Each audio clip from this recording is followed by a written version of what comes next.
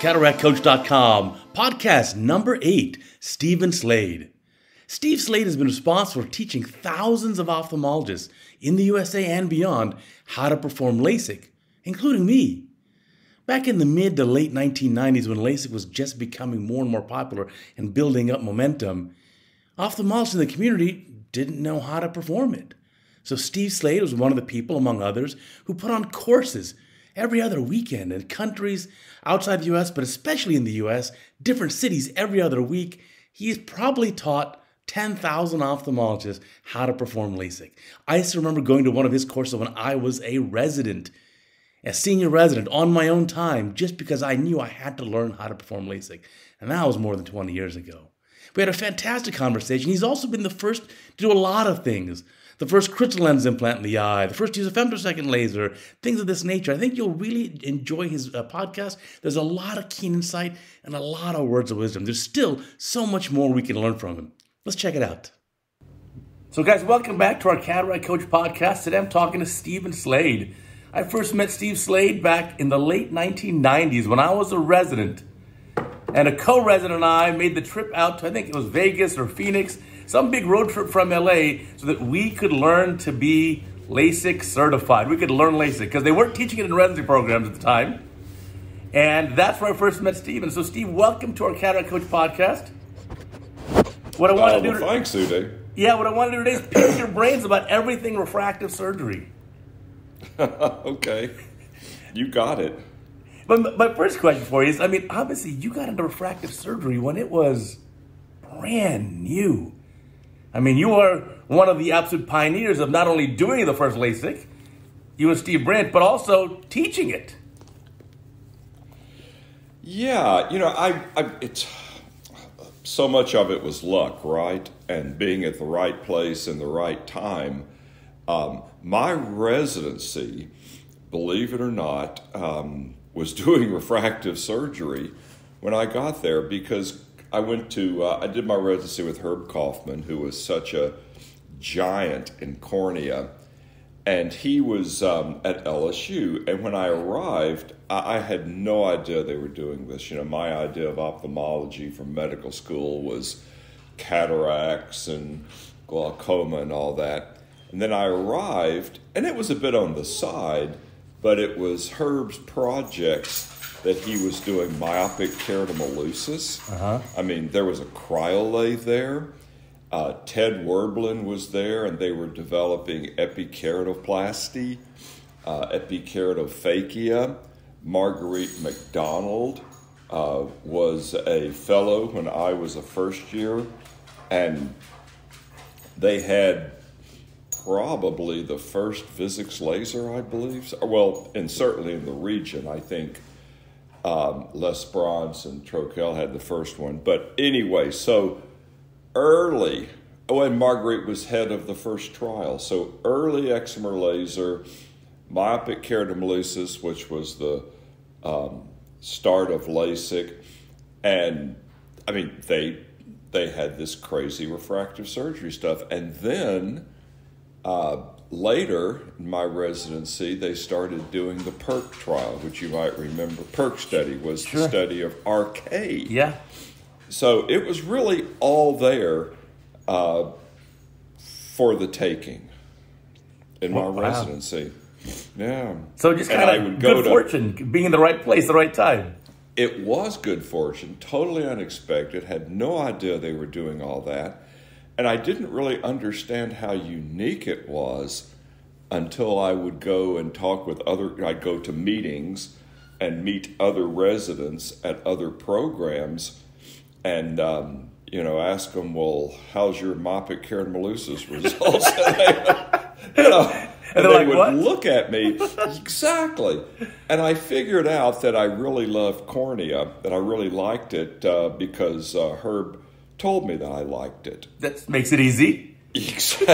now, get, get the distinction there. It's like my mother, she never said, um, you know, you're going to be a doctor. She always said, you want to be a doctor. It was mind control, day. And after a while, I would repeat and I would say, yeah, I want to be a doctor. Well, Herb was kind of the same way. He said, "You like cornea," and I'd go, "Well, I mean, I'm, it's okay, Herb, but I mean, I'll, I did not call him Herb. I would say it's okay, Doctor Kaufman, but there's other things that I no." You like, you like cornea? cornea. Actually, say, "Ah, you you like cornea," and he offered um, he offered me a fellowship and a faculty position. That's a maybe a later story, but the point is that after a while, uh, cornea, which is kind of crazy, right? I mean, two extra years for sure. a piece of tissue the size of your thumbnail. what little kid said, I want to specialize in a thumbnail sized piece, piece, of, of tissue? Yeah. Nobody. Anyway, so yeah, it was all there. Um, I did get it, interested in it. Um, you know, and of course, at that point, we didn't actually do myopic keratomileusis, but we got to follow the patients and all that. So, yeah, it was there, and I really enjoyed it and loved it. And so that's why you're doing refractive surgery, not retina surgery. what? I said that's why you do refractive surgery and not retina surgery. Retinal? Ret, ret, ret, yeah, ret, what? There's this tissue behind the posterior capsule it's a, a, a nerve tissue. Never saw it. Never saw it. when I, Uday, I mean, maybe you're a little bit too young, but when I was in residency, the thing that we would do on retinal rotations was they would draw the retina. Yeah. Do you remember that? Yeah, with color with, pencils. Yes, and you literally had to have a bundle of colored pencils. In your pocket, absolutely. Yes, yes. And that was, of course, you know, upside down and flipped. That was the craziest thing I ever did. I mean, I I hated that. Oh my god. Anyway, like, like going back to grade school, drawing pictures. Yeah, oh, yeah. You know, if you didn't have a green pencil, you were screwed. I just ugh. No, no way. No, it wasn't my thing. Yeah, so refractive surgery, I think, really was pioneered in this country by people who are in the non-academic setting, with a few exceptions. Obviously, Herb Kaufman, when you guys, that's unusual. A lot of our cataract coach listeners are, are, they skew younger, usually under age 50. And they may not realize that this did not exist in university settings. Even back for me, in 1998 or whenever I did my first LASIK, I was the first resident to ever do LASIK at UCLA. And it was such a battle to even allow them to do I, I got to do four eyes. That was a battle.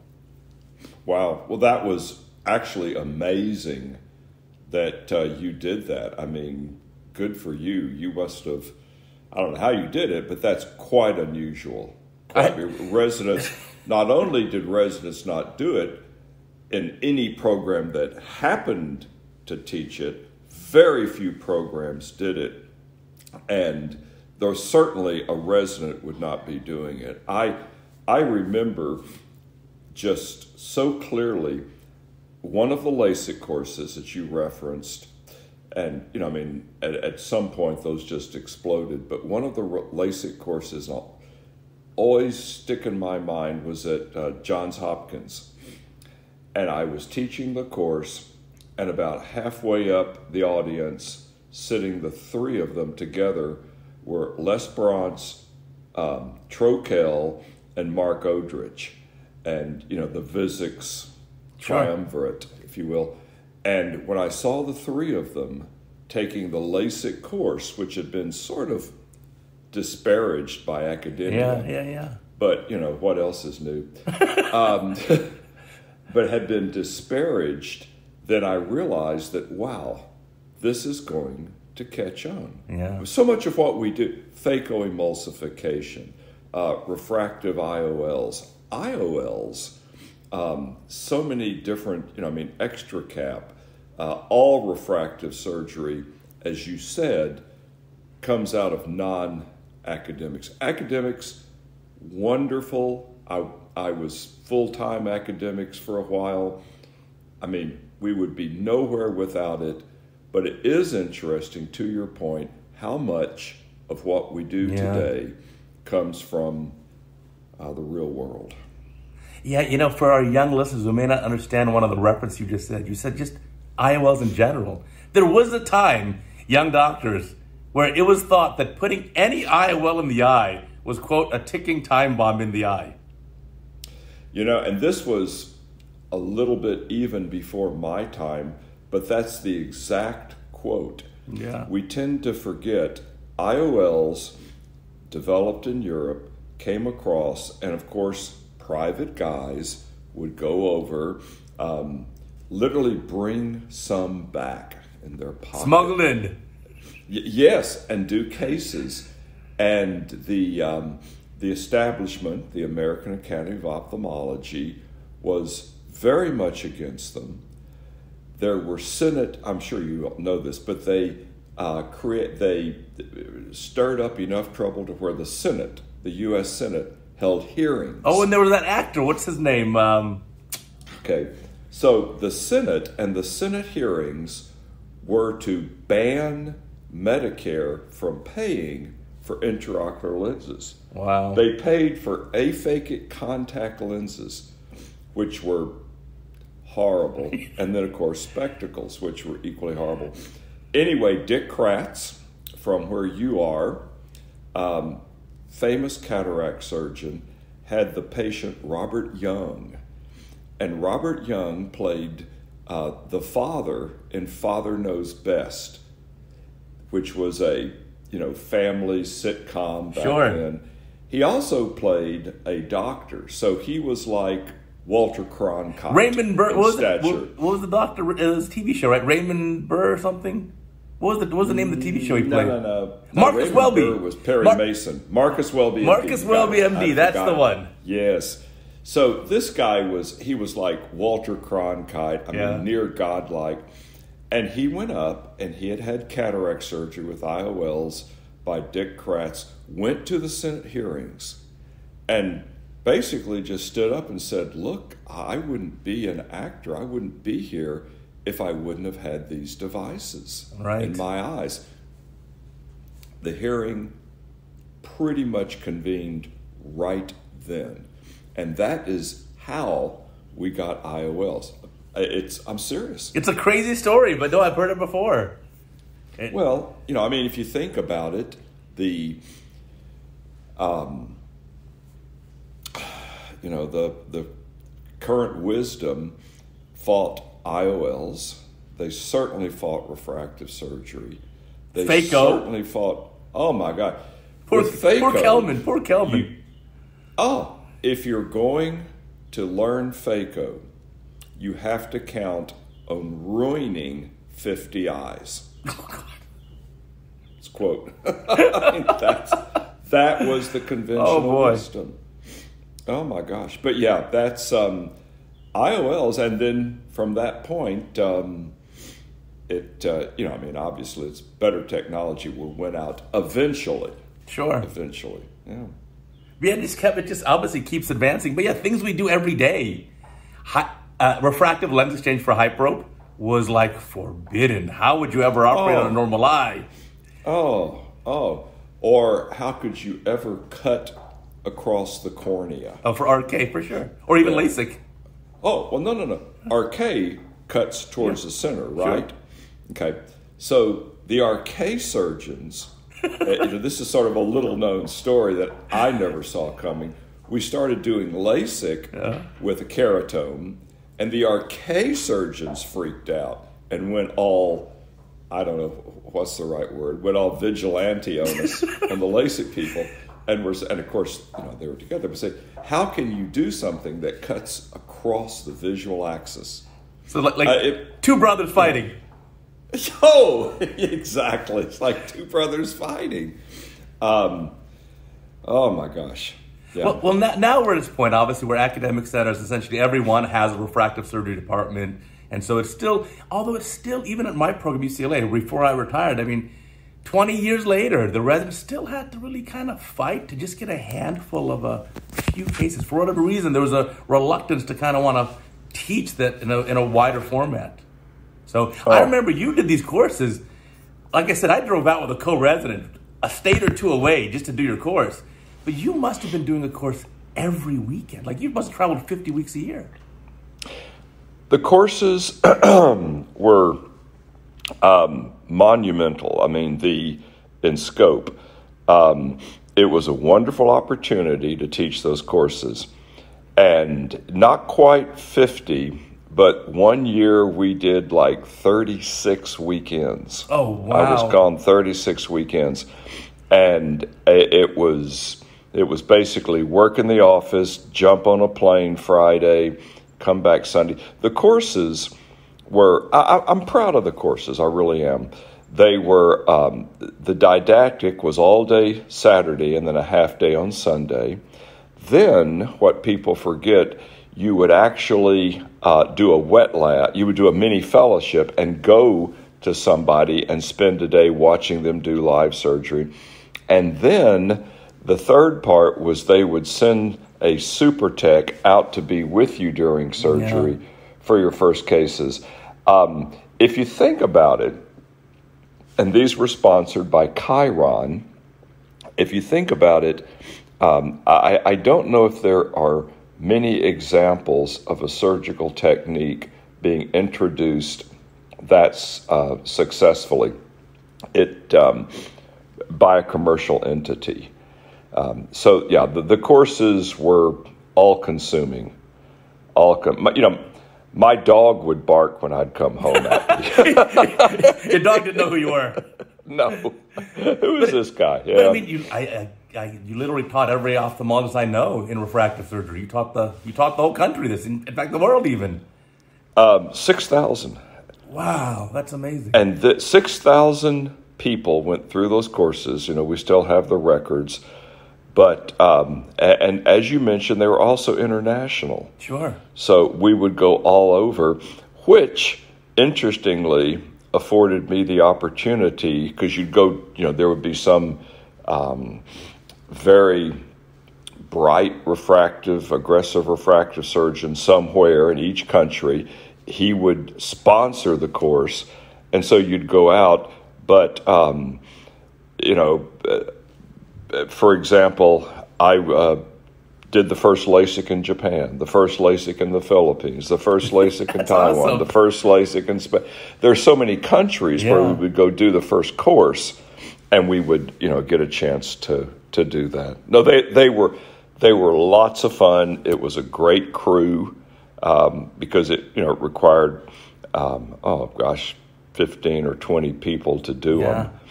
Um, but they were, and they started out as ALK courses, if you remember, which was a technique that you would do without a laser. Yeah, automated and lamellar keratoplasty. Very good, Uday. And the, you read that in a book, didn't I you? I did. I've never, never, never seen one in person. Obviously, never done one. Well, I mean, you know, myopic keratomileusis was the hardest surgery I ever did, without a doubt. Um, and it just got better from there. Now, okay, so here's a fun fact. With myopic keratomileusis, um, you know, myself, Lee Nordan, Fred Kremer, um, a lot of us did it. At the end, I was the only one still doing it. Uh, people just said, this is too crazy. But. What made it so challenging? The keratectomy. Now, you know, you remember the automated keratomes, right. okay? With myopic keratomileusis, you use the original Barraquer manual keratome. Oh, you're so pushing it. you just well, you slid it across. Now the thing with a keratome, because the cornea is under pressure, um, if you go quickly, you cut thinly. If you go ah. slowly, it cuts more thin. And if you vary the speed, it's, which is almost yes, and then of course it would get stuck. I mean, it was it was just um, it was voodoo. I mean, I would literally take my keratome home with me. I never left it at the OR. I would I would wash it. I would put it through the dishwasher. I would scrub it. I mean, I would almost sleep with the thing. and you would sit there and you would just endlessly practice passes. But anyway, so that's so if you had a partial or a suction break or uh, irregular care. Forget you about hosed, it. right? Yeah, oh, forget about you just, uh, well, you had to use the eraser procedure, which of course was a penetrating keratoplasty. so you know, try explaining that to a patient. But um, so that was by far and away the hardest surgery uh, that I ever did. And it just, you know, of course, it got much better from that point. Yeah, we just obviously keep advancing. Now, even the advancing to let's let's say femtos now to make the flap for LASIK. You were on the oh. forefront of that too. I got to do the first one of those. Oh, sorry.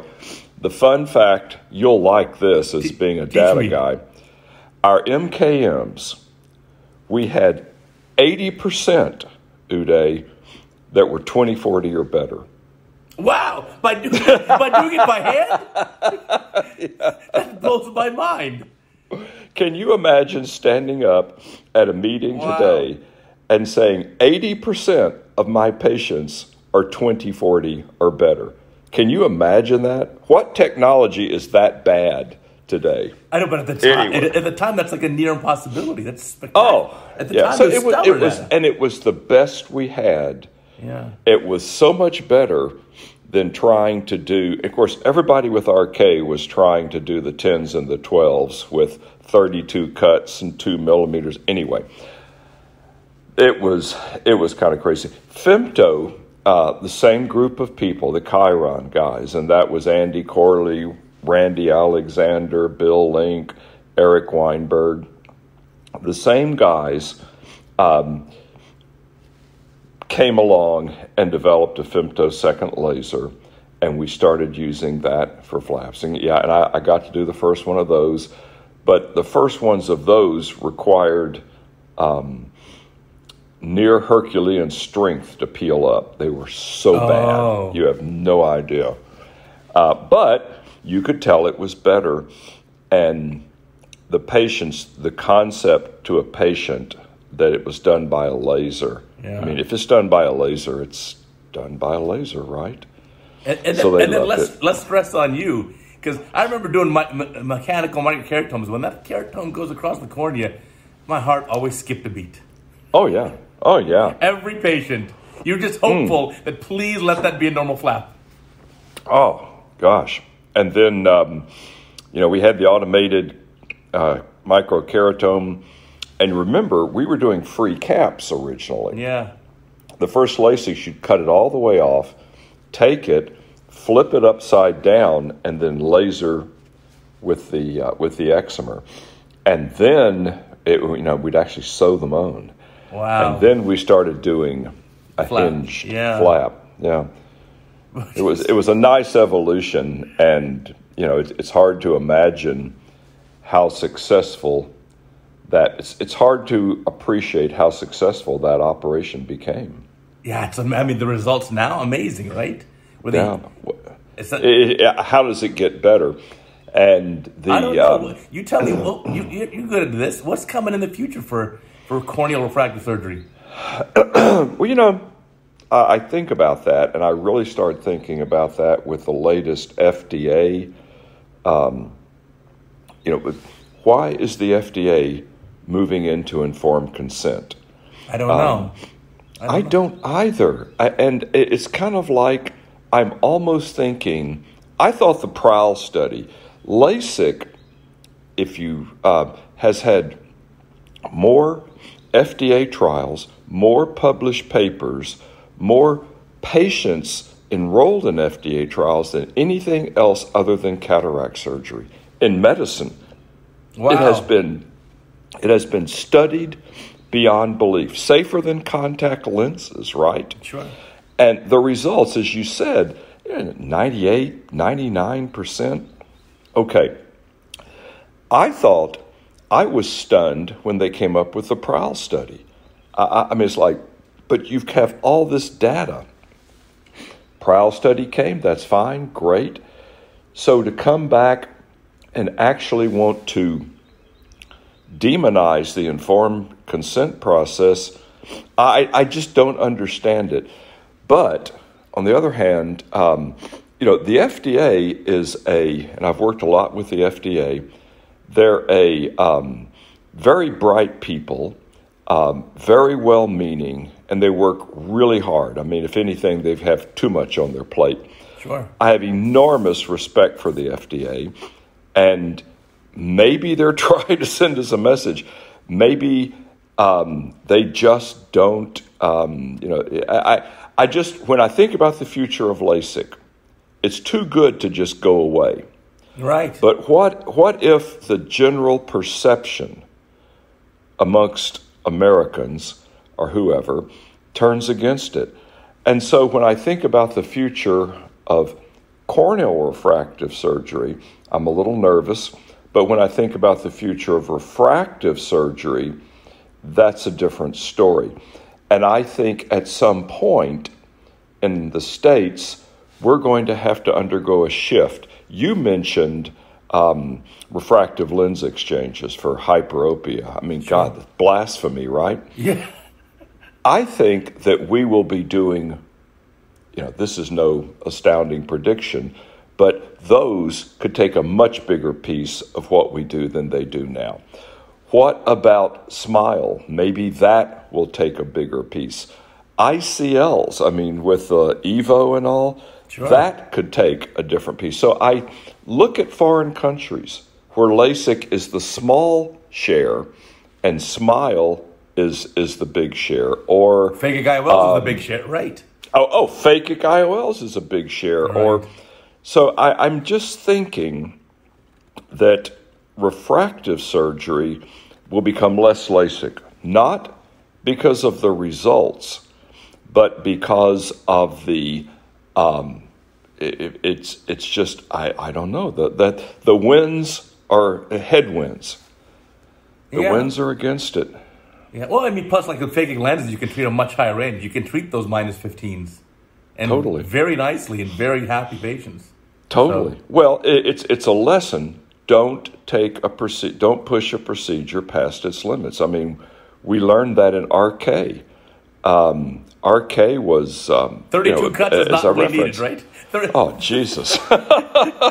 Stop at eight or maybe twelve. No, and then they would, you know, redeepening, and then they would go into small zones. There was some crazy guy in Arizona who did, um, God, what did he call it? Um, sensory RK. Did you ever hear of that? I don't even know what that is.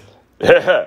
okay, so this was a big refractive surgeon. I won't name his name, but he was a big refractive surgeon, big family, uh, famous guy, famous athlete before he became a doctor. And his concept was that he would stick the knife in at the limbus, start cutting Russian style towards the center, not to a marked zone, but until he felt the cornea release. Oh, wow. I, I don't know if I'd feel anything, to be honest. and then, so you would see, and, and, you know, some of these zones were like 1.5 millimeters. Oh, boy. Yeah. Yeah. I mean, they are crazy looking. Anyway, so stuff like So don't be married to a single procedure. Don't oh, take, never. Don't take a procedure never. past its limits. And then basically never. just be open to the whole class. So refractive surgery now, as we're seeing, I mean, when I was a resident, if I said I wanted to do refractive cataract surgery, I'm worried about my patient's astigmatism. People thought I was crazy. Yeah. Oh, yeah. No, have as many tools as you possibly can. In the toolbox. Because yeah. the patients are so different that really what we do these days, it's like picking an IOL, right? I mean, think how much time you try to figure out whether you should use an EDOF or a multifocal yeah. or an adjustable uh, when you're talking to a patient. It, it's the same with you, know, you just you need to have almost every option, and that's why in my career I would always at least try something new uh, to see if I liked it. And you know, some of them weren't so great, but I would try, and I would. Um, it always sort of astounded me when people, the you know, the community would, um, you know, the common knowledge would rise up against a particular device. And I say, well, wait a minute, we haven't even done this yet. Yeah. You know? And of course, the other thing, just what occurred to me, remember the, one of the cool things about refractive surgery was we got to do it all first in the States, right? And everything else we have to wait for the yeah. Europeans to do. Yeah, so I liked sure. that. That that yeah, that was fun. For sure, pushing the envelope. Now, do you think there's a reason why there's not a bigger uptake of refractive surgery? Like in the U.S., let's say you're doing what a million LASIK a year, maybe. Oh no, more like about seven hundred thousand. But with the number of myopic people, like in the U.S. now, the incidence of myopia is going way, way, way up. If you look at other countries like Singapore or Hong Kong, eighty plus percent of the young people are myopic. So yep. you would think it'd be almost like getting braces, braces on your teeth. You get braces yep. when you're, you're a teenager, so you get straight teeth, and then when you're done growing at let's say 22, you get your LASIK done and enjoy your life. Why yeah. isn't that happening? Oh, that's a good question. Um, did you get braces when you were a kid when you wanted to, or because your parents wanted you to? Your parents. Yeah, your parents would haul you in. Yep. It's a great. It's a great analogy, and uh, but I I wonder uh, whose parents ever took them to the refractive surgeon to have LASIK. Yeah. Uh, it's just a thought.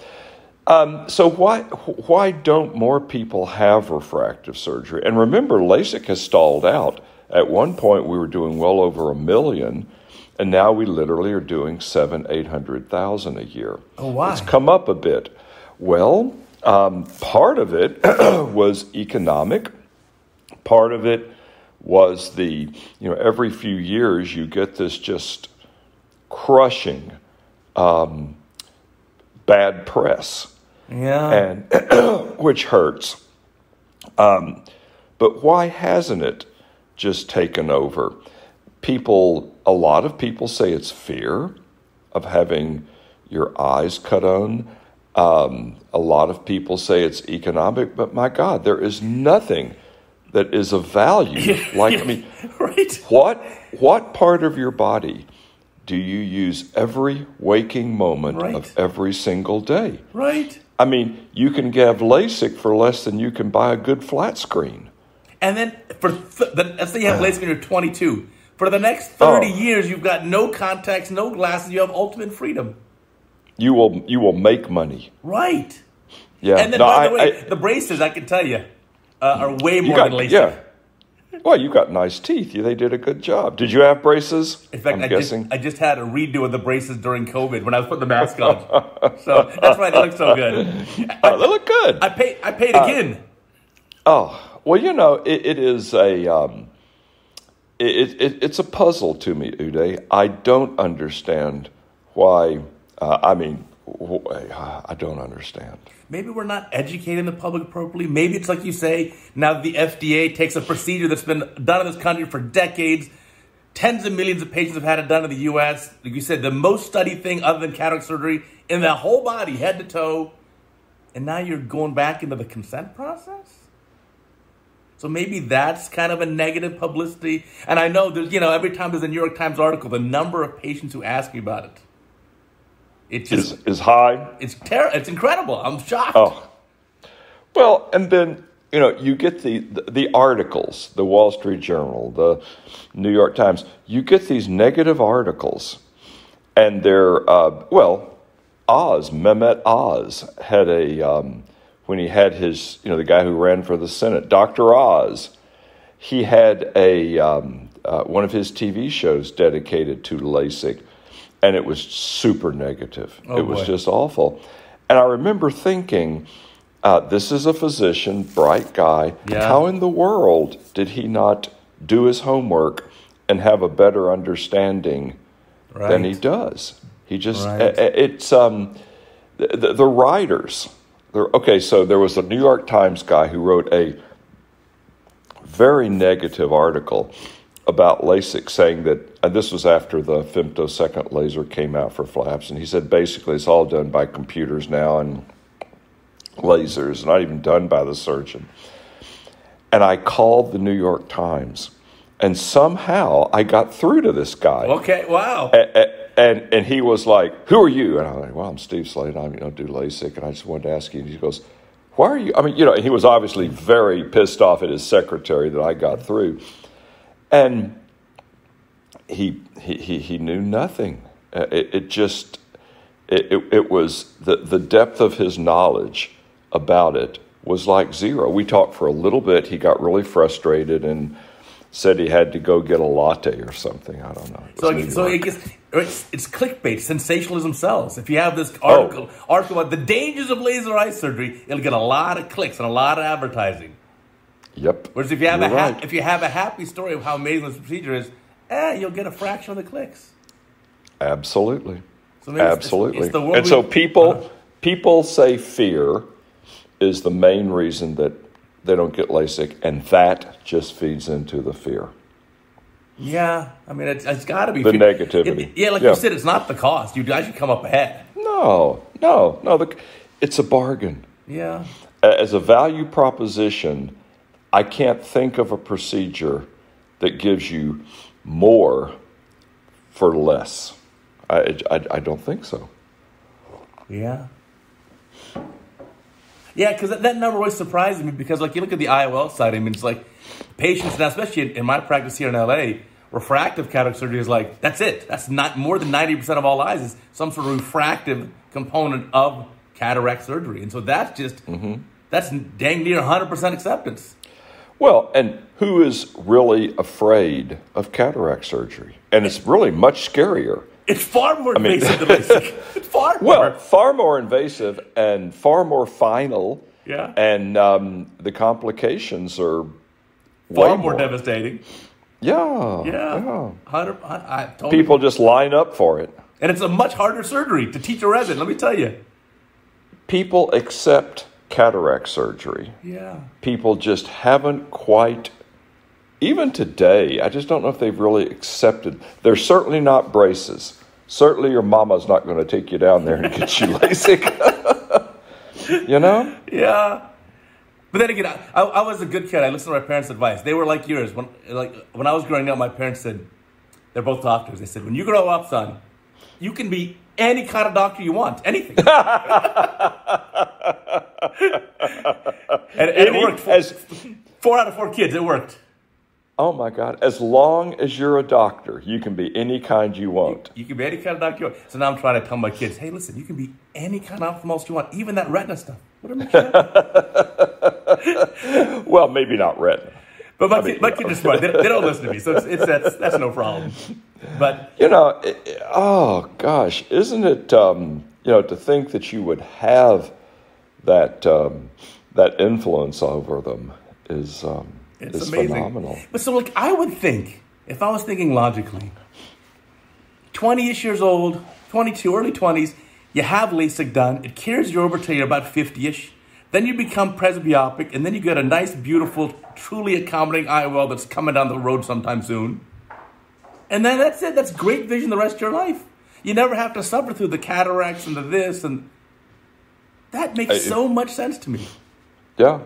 Well, you know, when we do refract, when we do refractive lens exchanges, uh, when we started doing them, and I would explain it, and I just kind of like early cataract surgery and this and that and that, and I started getting the the common comment, and it was, "You mean I won't have to have cataract surgery when I get old?" That's the magic, and they loved that. Right? They really, really love that. And how much easier is that procedure and so low risk when the nucleus is relatively soft instead Oh. of being a rock? Oh, oh my God! I mean, that ought to. It, it- there ought to be a law against not having your cataracts done before you're 65 or something. I mean, you know, Wait, I- ever- We've all had those I- I- 90 you- year olds where they got the Oh, absolute petrified God. rock in there.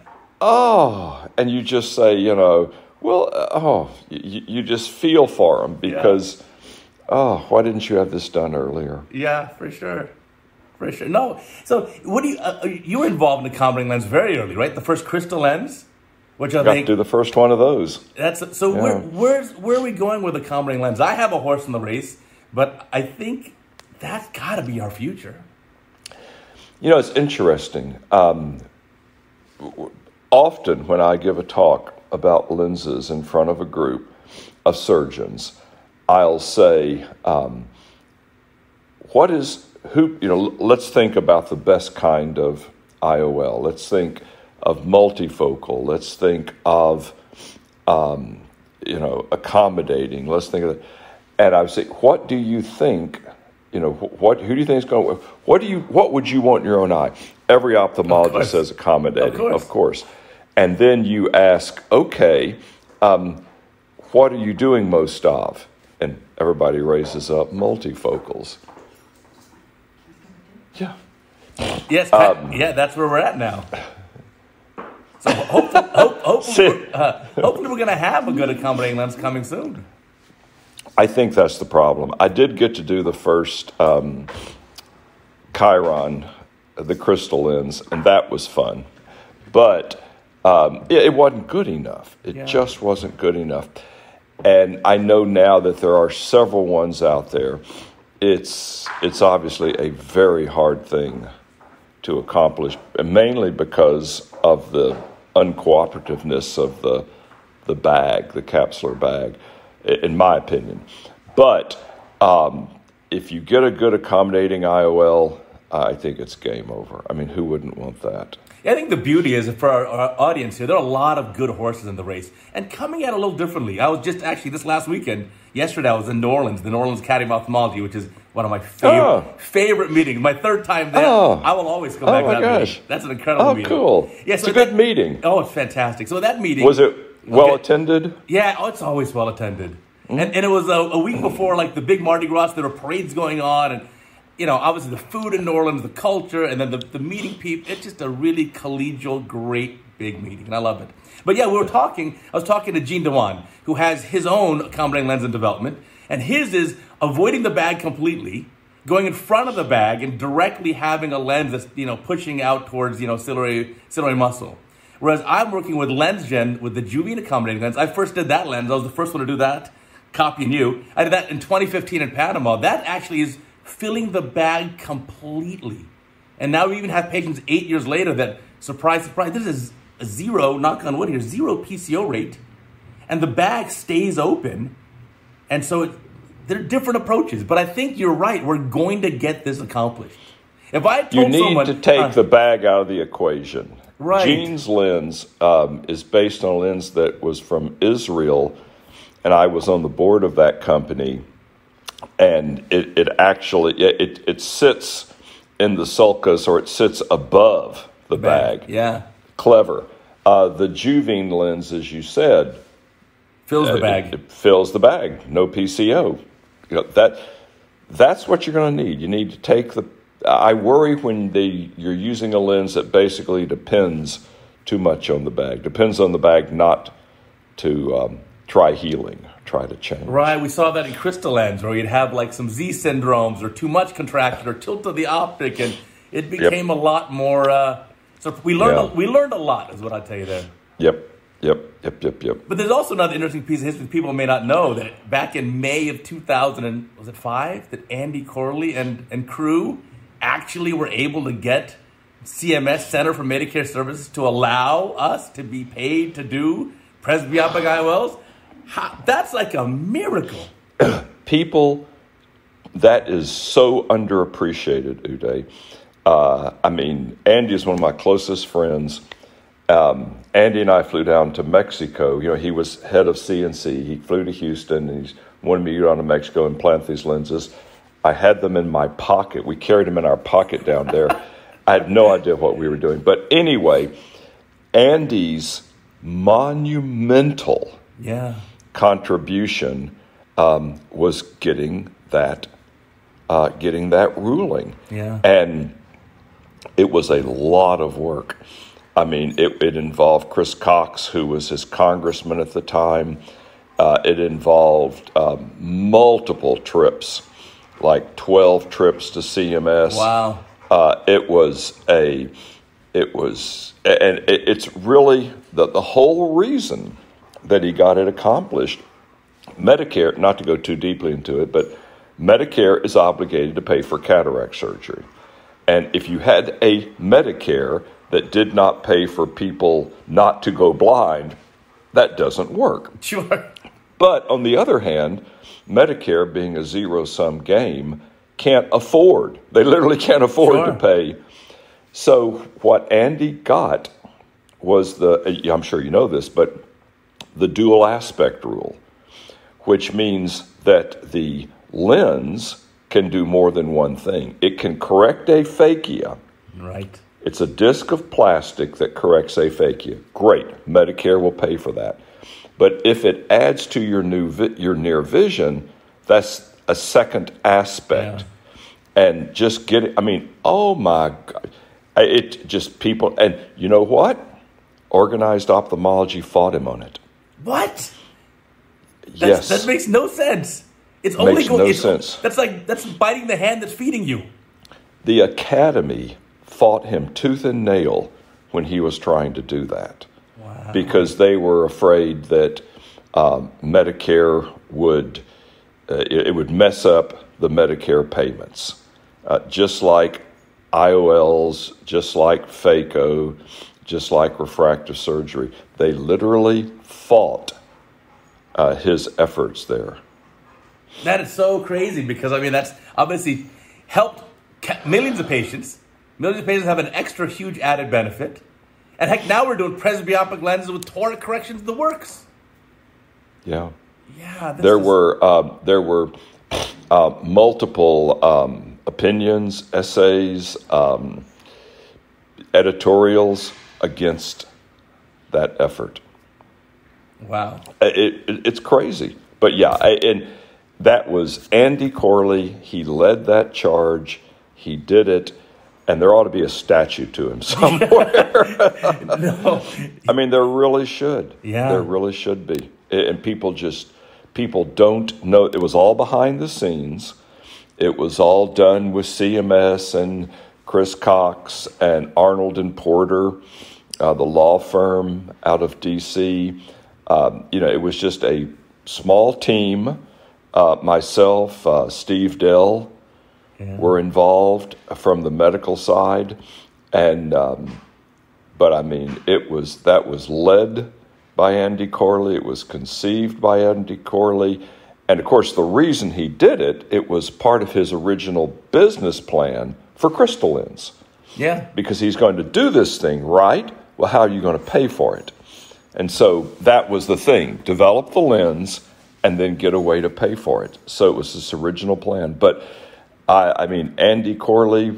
There should be an Andy Corley day, where all we're all it. ophtho- yeah, really, we're all ophthalmologists. Get a day off, and uh, you know, sit around and talk about Andy Corley. I They inter- really should. I, I introduced my son to Andy Corley at a meeting, and I told my son, I was like, and this is the man who made it possible for me to pay for your college education. exactly, exactly. I mean, I, I you know, I it, there ought to be Andy Corley should never have to buy his own meals. He should never have to buy his own beer. I mean, there should be people standing in line. Waiting, yeah. Yeah, yeah, to buy him a dinner. And even, you know what we don't talk about is how many patients are so incredibly appreciative that you've, you've Oh. I mean, you you hear every week, you, the doctor, you I've never seen this well my entire life. I can't believe at age 70 or 80, I can see like I did when I was a kid. It blows their mind. Yeah, uh, it, it's it's wonderful surgery. I mean, we are blessed and so lucky to be able to be in this field. I, you know, I think back, and you know, I really kind of stumbled into ophthalmology. Um, I went through medical school, and I didn't like anything. Uh-oh. and so I literally took a, uh, I did an internship, and then I took a year off Oh, wow. because I, you know, I mean, every time I'd start a specialty, I'd neurosurgery. Have an uncle who's this is it. After about two days, OB-GYN. I was dating a girl whose father was a huge OB-GYN in Houston. This is it. After about a day, I was like, oh, Nope, not God, me. no, not me. So I literally got out of medical school. I didn't know what I was going to do. I worked as a carpenter for a year, Wow. and So that orthopedic surgery, basically. Carpentry. Yeah. yeah, I thought about orthopedics, had a residency lined up in California, just couldn't quite pull the trigger. And so I went back and I started thinking about the people in my medical school class that I sort of admired. And there was one of them who went into ophthalmology. I couldn't even spell ophthalmology. I always dropped the second, you know, that Yeah. tricky second H. But I, um, I, I, you know, got a um, I managed to get a, a, a residency early because you know you have to wait a couple Sure. of years and all that. But I often I, I truly believe, no kidding, that if I wouldn't have gotten into ophthalmology, I would have gone to law school or something. God Oh, wow. forbid. Wow. I don't think I would have been a doctor. I mean, what could what would you be happy doing other than ophthalmology? Not a whole lot. Not a whole mean- lot. we are so lucky to have this field and people like Andy Corley and all of our friends, you, everybody, we're just so lucky to have this amazing field um, that makes us, our patients, so happy. Yeah, for sure. No, I'm, thank- I'm thankful every day that I'm an ophthalmologist. Every day I'm, I'm absolutely thankful. Oh, oh, oh! I mean, it's, no. it's life or death, Uday. I don't think I don't think we, and it's it's just life or death. You know, Th- th- they don't teach it well in medical school. I mean, we had like five days, and I cut three of them. uh, so, I think we know, all have similar stories. You know, I didn't plan on doing it either. And I, in, Yeah. in, in med school, the only thing I liked was microsurgery. So whether it was ENT, skull-based surgery like otology, maybe some neurosurgery. But I, I had three weeks to kill, and I just did, oh, I'll do an ophthalmology rotation. And I was, wow, mind blown. And so in medical school, you spent three weeks on it. Three weeks. Three weeks. I spent two days. Two Yeah. days. Well, I just, well, it would have been nothing, but I didn't have. I had a, a blank in my rotation schedule, and I needed to fill three weeks. Oh, and my ophthalmology was open. I said, "I will try it." And then I also realized that obviously the, the, the prettiest surgery in the whole body, the most precise, the cataract surgery I was in love with right as a med student. And then I'm also a math geek. When they start talking about astigmatism, I'm like, "Oh, that's just addition and subtraction of vectors." I'm like, "You got me covered. I, I'm in Well, love." It, it, it's by far the best surgery, the happiest patients.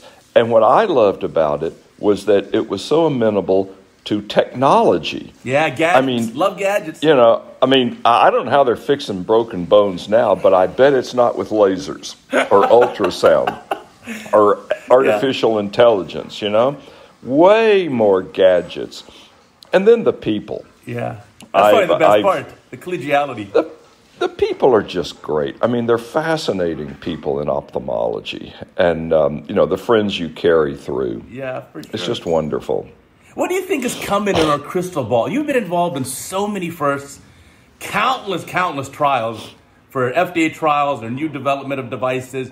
What's coming in our future? So we talked a little bit about accommodating lenses, which is my my big hope because uh, now that I'm getting up there and becoming presbyopic, what else is coming? What do you think is coming down the road?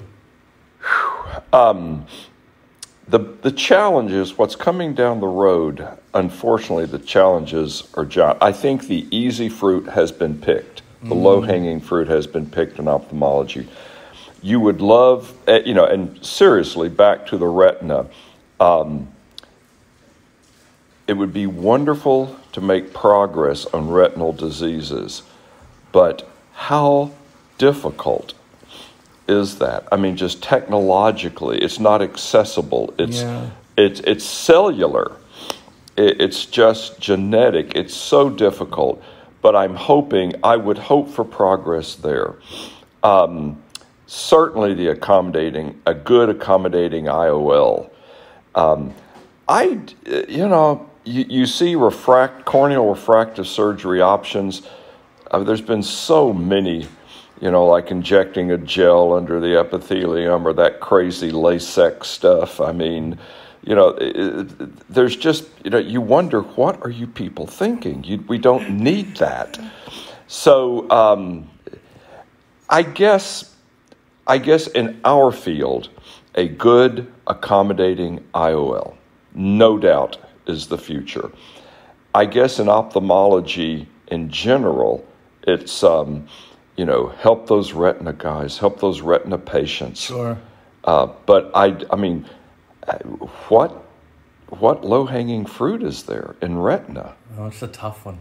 That's a, It is yeah. a tough one. I mean, that's going to be solved. The one thing, um, or well, one thing amongst many that I love about um, ophthalmology is that so much of it. I mean, Kelman invented phaco as a private practice doc, right? That's wild. Um, to think about that. It's wild. it, RK was developed the same way. Yeah. LASIK was essentially developed in, um, you know, the the the jungle by Barraquer, the genius in the jungles of Colombia, if you will. But I mean, so much the the fixes, the solutions were accessible to ordinary geniuses. And with retina, the fixes are going to have to come from very well endowed geniuses, very well supported geniuses in the Merck labs or the um, you know the Novartis labs, things like that. or, or our, our MD PhD colleagues. It makes me happy to see all these MD PhD s- uh, surgeons going into retina because they can Yeah. combine that Yeah. lab research with the surgical and the clinical together. Yeah, It was never Absolutely. me, Absolutely. but I'm, I'm happy for them. I'm, I'm happy Yeah. to just stick to the, the surgical side. absolutely. Yeah, I, I think that's definitely where it's headed. I think another thing we sometimes forget is that if we did have that beautiful accommodating lens, yeah, patients have LASIK in their 20s.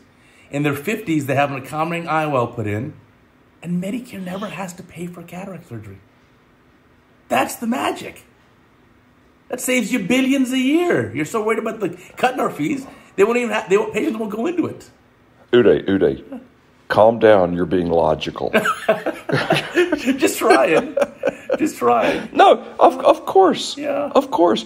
In other words, you have a procedure that people would happily bypass Medicare and pay their own way. Yeah. And, and think how much they've already saved. How many of your cataract patients are under 65? Every year, more and more. Yes. Every one of those is a Medicare savings. Yeah. There, there ought to be a statue to you, Uday. You have saved them so much money. Think about it. Think how much.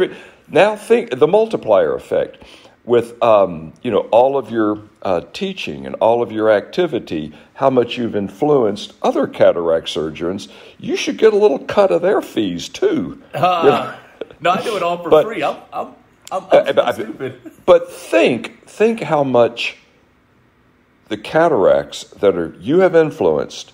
Think how much you saved the government, Yeah. and they still are running deficits. It's a tough one. I don't have any good answers there. yeah, that's really far afield, but it is. I mean, it is. Um, we're doing them a big favor. Yeah.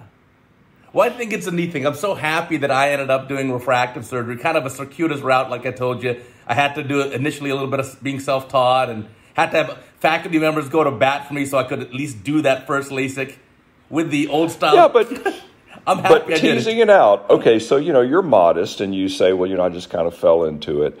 But teasing it out, you picked that ophthalmology rotation, Oh, for sure. the three week rotation, and then you agitated enough to where, as a resident, you got to go take a LASIK course.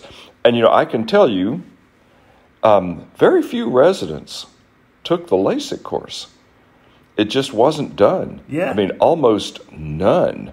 Uh, there was such a low awareness, even, of what LASIK was.